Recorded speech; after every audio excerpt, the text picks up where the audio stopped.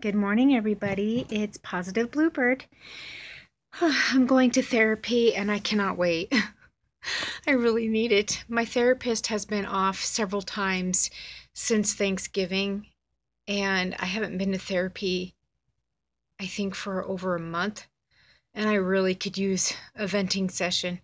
Um, trying to find housing here in Colorado really stinks, and I have been researching the Colorado housing list daily um, and making phone calls and calling housing authorities and um, tax credit properties.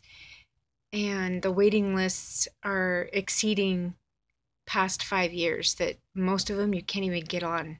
And the ones that we have been on since the beginning of August, um, they can't really tell you your placement on the list. They can only say how many people are ahead of you, um, or you know the fact that they're gonna guess months. Um, that's kind of annoying, you know, when they say, "Oh, it could be two months, but it could be two years," and I hate that. Um, I'm not very patient, but um, I have to try.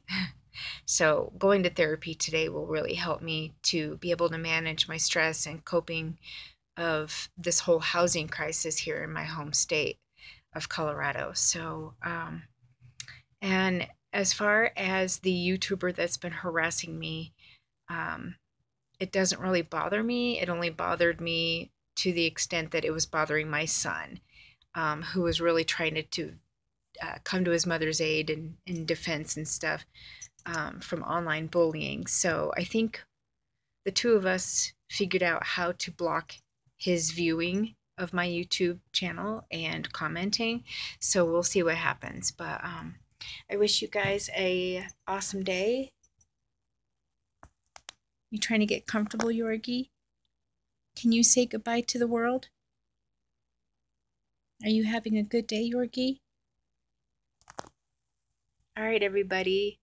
Peace out, and I will talk to you a little bit later. Bye.